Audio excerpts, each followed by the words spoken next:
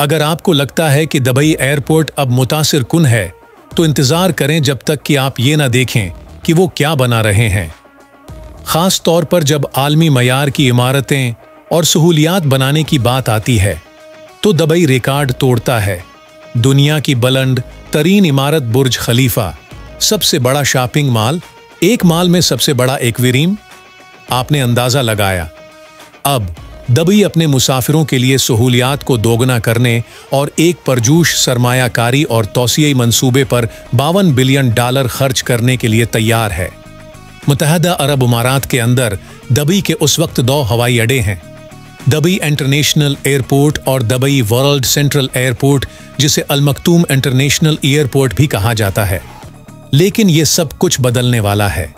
इसने एयरपोर्ट का साइज़ दबी एयरपोर्ट से तकरीबन पाँच गुना ज़्यादा होगा। हवाई अड्डे में 400 दरवाजे, पाँच मुतवाजी रनवे और हवाबाजी की नई टेक्नोलॉजीज़ शामिल होंगी।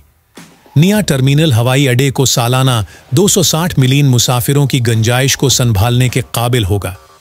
सियाक व सिबाक के लिए दबई एयरपोर्ट फ़िलहाल सालाना 115 मिलियन मुसाफिरों को एडजस्ट करता है। दबई हवाई अड्डों के सीएओ के मुताबिक, नया हवाई अड्डा हुआ बाजी के एक अहम मरकज के तौर पर दबई की पोजीशन को मुस्तहकम करेगा।